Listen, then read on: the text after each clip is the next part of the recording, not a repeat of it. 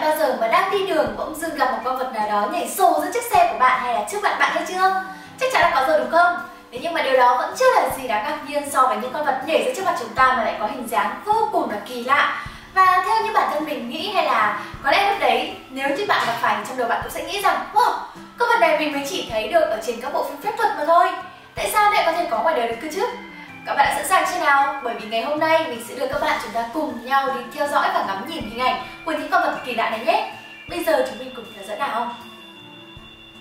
Chú chó Dukalu. Bản thân mình là một người rất là yêu thích loài chó, Chính vì thế nên mình phải nói với các bạn rằng Anh bạn này trở thành nguồn cảm hứng cho tất cả chúng ta đấy. Chú chó trọi hai chân Dukalu được sinh ra với hai chân sau dính liền với nhau Và xương trộm thì bị biến dạng. May mắn thay, nó không để những sự khác biệt này làm ảnh hưởng đến cuộc sống của mình. Các bạn nhìn nó mà xem, Nó đang tận hưởng khoảnh khắc trên bãi biển. Dukan có khả năng đối mặt với tất cả các chướng ngại vật với sự kiên trì và biết ơn nữa đây cũng là một bài học cho tất cả chúng ta. Khi cuộc sống ném vào chúng ta một gói mắm tôm, bình tĩnh bình tĩnh nào.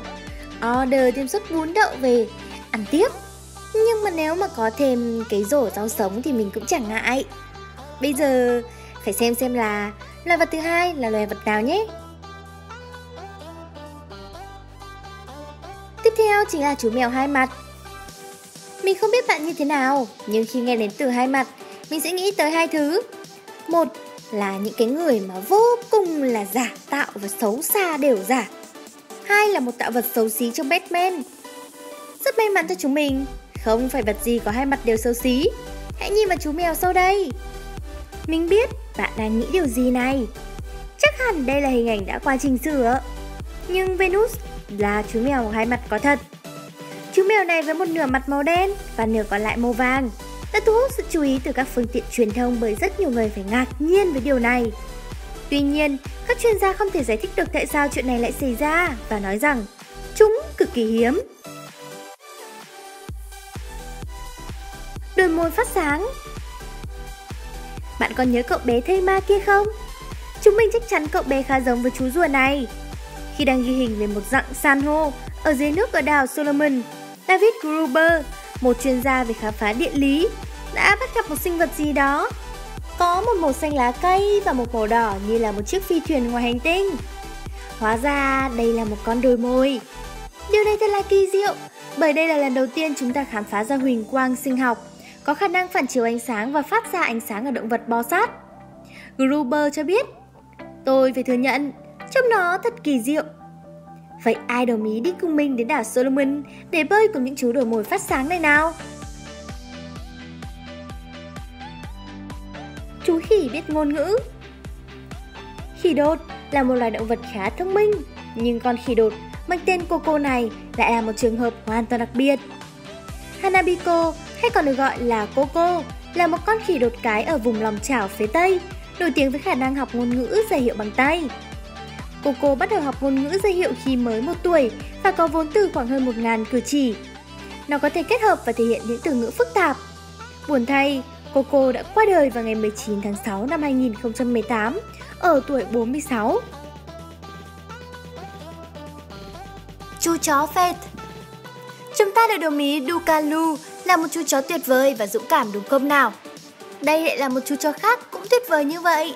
Nhưng thay vì chỉ có hai chân trước, chú chó này lại chỉ có hai chân sau, khiến cho nó đi thẳng như con người.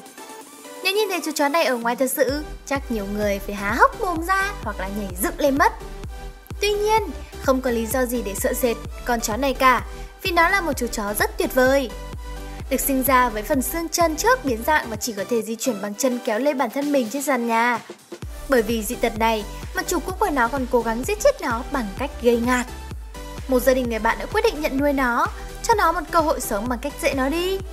Đầu tiên, họ cho Fred lên trên một chiếc xe đẩy để nó cảm nhận được sự di chuyển. Sau đó họ bắt đầu dụ nó đứng lên bằng cách dùng một chiếc thìa bơi lạc như mồi nhử. Faith dần dần quen với việc giữ thăng bằng với hai chân sau và nhảy một mình. Nửa năm sau, nó đã bắt đầu có thể đi lại được như con người. Chú cá thương binh Thành thật mà nói thì các loài cá chưa bao giờ khiến mình ngạc nhiên cả. Khi mình nhìn thấy một đoạn video ngắn về việc một người đàn ông ném con cá nó sống lại trong trạng thái đóng băng. Mình nghĩ nó đã trải qua một thời gian thực sự rất là khó khăn và có khả năng sống sót. Anh bạn nhỏ này đang cố gắng thoát ra khỏi cái ao. Nó đã làm gãy xương phần sau và mất đuôi, trở thành một thương binh. Chủ cá bụng vàng này đã sống sót được thêm 6 tháng sau khi gặp tai nạn. Trước khi qua đời bởi người giải cứu nó đã mang nó đi quanh ngôi làng để khoe. Rắn thay đầu bạch tạ Rắn là một loài động vật đáng sợ. Kể cả khi mình nhìn thấy chúng qua màn hình máy tính Mình vẫn thích dùng mình. Nhưng cô rắn này, hay mình phải nói là hai cô bé rắn này khá là đáng yêu. Chúng có chung một đường tiêu hóa Nên nếu chúng học cách phối hợp với nhau Chúng sẽ sống sót cực kỳ tốt ngoài thiên nhiên.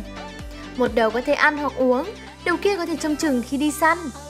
Con rắn sữa bạch tạng hai đầu này tên là Medusa Và hai cái đầu thì luôn tranh cãi với nhau. Ở trong video này, chúng mình có thể nhìn thấy là chúng đang đấu tranh để đi tìm nguồn nước. Thật là lạ khi mà họ chỉ đặt cho nó một cái tên nhưng nếu bạn muốn mua nó và đặt tên cho cả hai thì nó có giá là 50.000 đô la Mỹ, tương đương với 1,15 tỷ đồng. Ếch Mình biết một số bạn đang nghĩ bậy bạ. Sự biến dạng ở bên dưới con ếch này thật sự là một cái chân giữa. Ếch không phải là loài có bộ phận sinh dục nhưng đó chính là bộ phận được tiến hóa từ gây chân trong thời gian phát triển phôi thai. Chiếc chân này chính là một phần của quá trình đó. Chú vẹt trụi lông Đây là một chú vẹt được chẩn đoán với chứng bệnh trụi lông khi 12 tuổi. Chứng bệnh thoái hóa này đã ảnh hưởng đến nó rất nhiều, gây ra việc trụi lông, biến dạng mỏ và móng. Điều này đã thu hút được sự chú ý khi nhận nuôi bởi Isabella Iceman, và cô đã khoe nó lên trên tài khoản Instagram của mình. Iceman đã chụp ảnh với nó với rất nhiều các loại trang phục có thể giúp giữ ấm vì nó không có lông.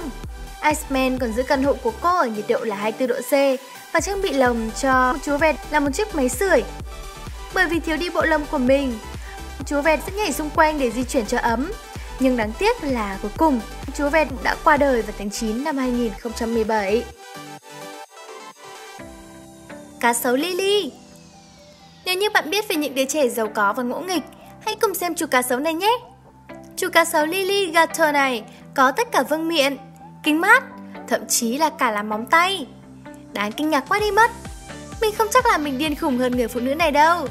Angela Lenz vì cô ấy đã làm những điều đó hoặc làm với chính Lily mà không bị cắn vào tay hay chỗ nào đó. Theo Lenz thì Lily chưa cắn ai bao giờ và cũng không có ý định cắn cứ ai cả nhưng có vẻ nhiều người không muốn tin vào điều đó cho lắm. Thế là video ngày hôm nay cũng kết thúc ở đây rồi. Cảm ơn tất cả các bạn đã đón xem video ngày hôm nay nhé. Và đừng quên chia sẻ xuống dưới phần comment xem bạn thích con vật nào trong video ngày hôm nay của chúng mình.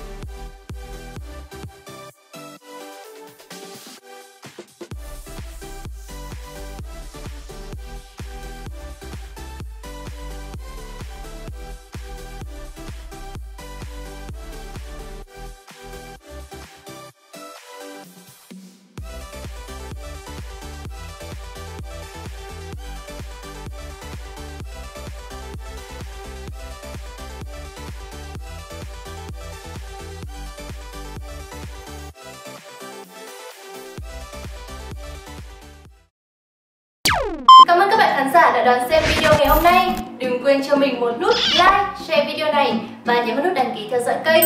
Đừng quên nhấn vào hình quả chuông để có thể nhận những thông báo của video chúng mình vào lúc 11 giờ trưa và 18 giờ tối mỗi ngày. Đừng quên like cả fanpage trên Facebook của chúng mình là xem gì hôm nay để có thể đón nhận những thông tin thú vị nhất ở trên đó cùng với tham gia các mini game nhận về những món quà vô cùng hấp dẫn đấy chứ. Còn bây giờ xin chào và hẹn gặp lại các bạn ở trong những video lần sau nhé. Bye bye!